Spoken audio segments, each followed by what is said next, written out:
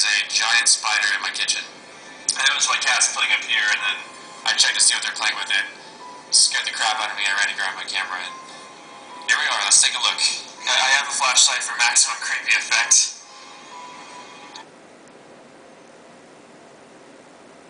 There he is, right there. Egon, no, no, seriously, oh my gosh, seriously, don't, don't mess with him. There he is, right there. I'm gonna have to remove him. Egon, should be ashamed. Poor Egon will probably get killed by this guy. The spider can kill you, Egon.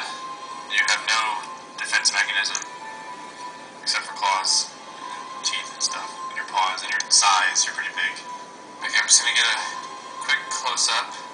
There he is, right there. Oh, that's horrible.